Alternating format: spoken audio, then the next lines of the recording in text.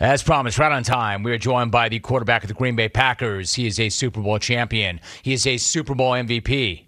He is a three time NFL MVP. He is a nine time Pro Bowl selection, which is tied for most in team history. A member of the 2010s All Decade team good friend of the program. The Packers are going to open up against New Orleans on September 12th. We are joined by Aaron Rodgers. Aaron, there's a lot to talk about, a number of places where I could start. But first off, how are you doing, Aaron, and how is your life right now? It's great, buddy. Thanks for having me back on. I mean, it might not be as beautiful as the pictures that you like to post from your uh, your cabin up in the great state of Wisconsin, but it's been uh, it's been a good camp. It's good to be back with the guys um, you know, it, it's camp is way way different. Many older guys would probably say easier than it used to be. So it's been uh, it's been a nice uh, nice camp for us, and one more preseason game, and then things start picking up. Aaron Rodgers, my guest, my guy. I appreciate you saying that. From one California native to another, we can talk Wisconsin, which is always a blast. Let me ask you this, Aaron. Matt LaFleur had asked you to break the team down after the first day of practice, and the story goes that your message was about a positive mindset, how special it was to be back, and about embracing the journey. Why was that something that you wanted to share at the very start? Well, I think you know some of the the themes that I like to talk about are, are very similar. It's the things that I that I research and am into and study on and meditate on. You know, the idea of a positive mindset and embracing uh, the present, uh, but also understanding you're on a journey. So, you know, those are kind of themes that, that I like to to talk to the guys about. The other part was really important to me, and, and you know, to be away from the team for the entire off season um, was obviously new for me and different. I just wanted the guys to know how special it was to be back with them, how you know thankful and grateful I was to be there with them, and just reiterate to them my commitment. Um, you know, was 100% is 100% to uh, the team, to my role as leader on the football team, and into this season. So you know, it was good. You know, when I, I was, it was kind of weird. It was like the first day of you know, a, a new school almost when I walked in, even though I've you know been been here for 16 years. Just those those nerves you get, those butterflies walking back into the stadium.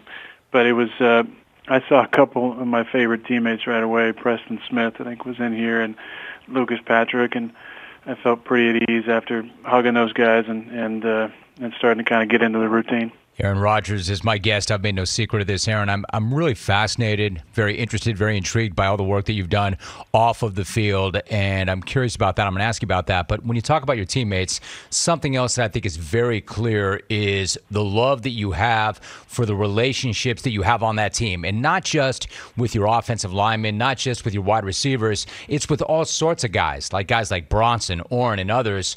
Why are those relationships so important to you? Well, I appreciate you asking that question. I think it's it's it's fun to kind of talk philosophy of leadership, and one thing that's very important to me is is the way you treat people. Uh, in a position of leadership, people are always watching. They're always going to see uh, how you go about your business and how you treat certain people. Um, as a leader, you understand that different people have different buttons of inspiration that you can help push to get them uh, to be more comfortable, to give more themselves, uh, to show what they're all about. Um, but as a, as a leader, I think it's important that you show respect and kindness to everybody, not just the Davante Adams of the world and the Za'Darius Smiths, but you know, Oren is my locker mate. He's a, just a super, super guy. You know, he's uh, he's fun to be around, and unfortunately, we got these terrible plexiglass things between us. But uh, you know, we've had some good conversations over the last couple of years. And Bronson is one of those camp guys who kind of catches your eye.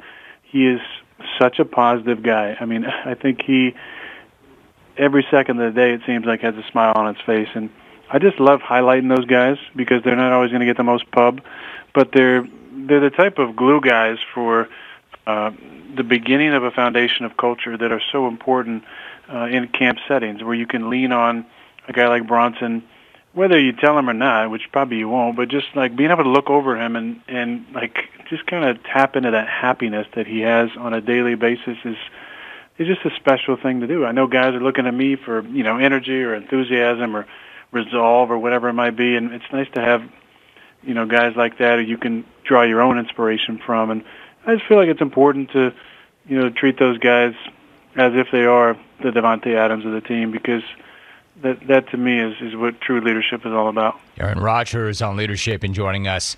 So, Aaron, if somebody listening right now is thinking, and, and I'm one of these people, but if somebody's thinking, you know, man, I want some of what Aaron has in terms of that peace of mind and that ability to remain present.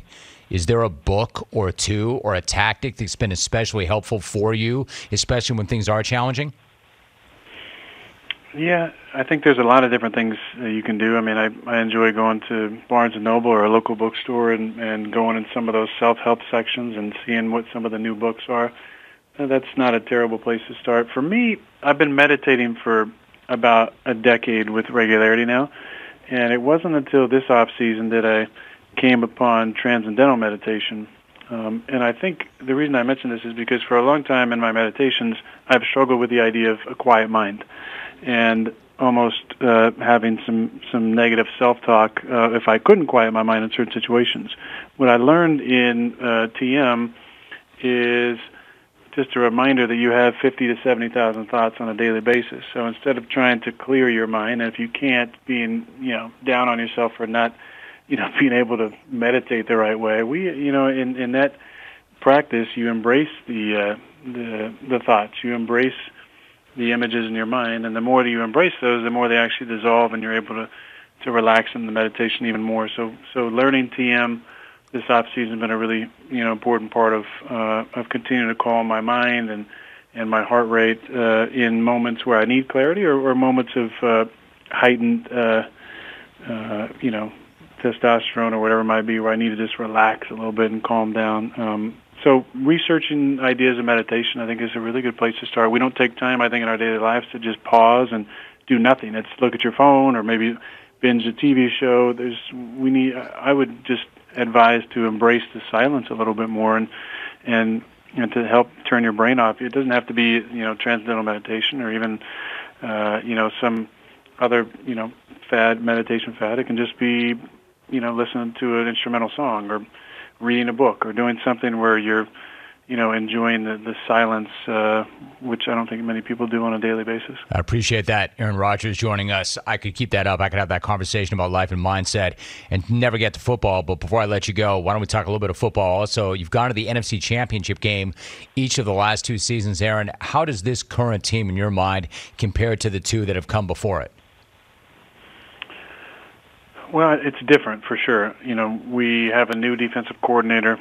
Um, I think you're going to see different players having opportunities that maybe haven't in the last couple of years based on the scheme that that they're playing. Um, offensively, it's a deep receiver room, which we've had some some good ones over the years.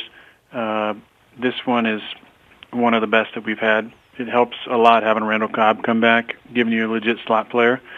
But I think if you look at this camp compared to last camp, uh, Marquez Valdes-Scantling and Allen Lazard have really had fantastic camps. Now, last year they were in the top four for sure during training camp. But like I told Quez at lunch the other day, I said he's in the "we don't worry about you anymore" category with him and Davante Adams, where it's like they. Tay is in a you know league of his own, but but Marquez has become such a professional uh, with his practice habits I just I give him so much credit for really truly becoming a pro and mastering his craft. I'm very very proud of him. Allen Lazard has had a fantastic camp, and I'll say this, Jim. What's interesting to me about both those guys is over the last couple of years, I've seen more growth in them off the field. I'm talking about habits and mindsets and uh, meditation and the things they're thinking about. I mean, Marquez hit me up in, in first day camp. He said, "Hey, uh, I want to start reading more. Can you give me some books? I'm like, yeah, it's the best thing you can ask me to do. So I went to, you know, Barnes and Noble and and got him some a little starter pack that I thought was pretty good. And um, it, but it's the way that they've approached their off the field training, not just physically but mentally, that allows them to be so calm and composed and comfortable on the field.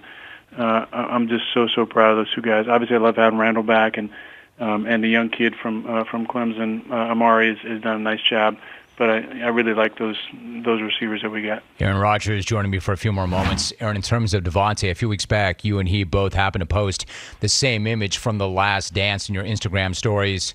Aaron, are you approaching this like it might be your last season in Green Bay? What is your approach? Yeah, I definitely am, but I did last year too, Jim. Um, I really felt like I was looking for some sort of sign that it wouldn't be my last season in Green Bay after um, uh, you know after the draft. Uh, felt great about the way I played. Didn't feel like there was any uh, kind of commitment past the 2021 season. So obviously went through the whole off season, and I've talked at length about that. But I think in order for me mentally to wrap my head around the season, the journey, and the and the focus it's going to take, I feel like I have to have that perspective. And this isn't some uh, you know ultimatum or you know major statement I'm making. Uh, it's just the perspective that I need personally to to put myself in the best frame of mind to be able to lead the right way. Um, because I think with any great journey, you have to have uh, gratitude for the moments that make the journey special. And some of those moments are tied into the uniqueness of Green Bay, the uniqueness of being uh, a 17th year pro, and the opportunities that that presents from a leadership standpoint. So I really feel like that's what puts me in the best frame of mind if I focus on how special this year is with no guarantees after next year.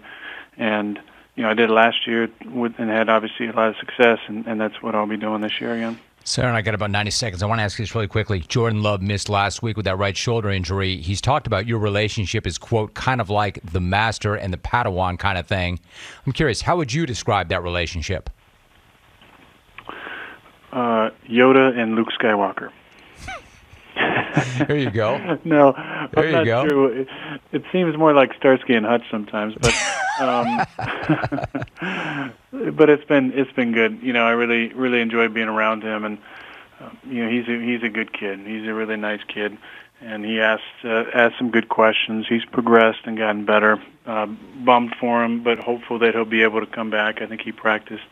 Uh, he did practice today. I think he did just about everything. So it'd be it'd be great for him to be able to play this week against Buffalo and and uh, get some more action in. But it, it's been it's been really good. You know, we had conversations during the off season, everything's going on, and and I'm I'm glad that I'm back and get to have another season with him. He is a Super Bowl champ, a Super Bowl MVP, a three-time NFL MVP. You know the stats. Good friend of the program. And the Packers are going to open up at New Orleans on September 12th. He is Aaron Rodgers. Aaron, I appreciate the relationship. I appreciate the conversation. As always, thank you so much for doing that. Always a blast. You're the best, Jim. Thanks for that jungle karma, man. I need it. My man, I don't think that you do, but I'm glad to share it if I have it. Aaron Rodgers, great talking to you, Aaron. Thank you very, very much.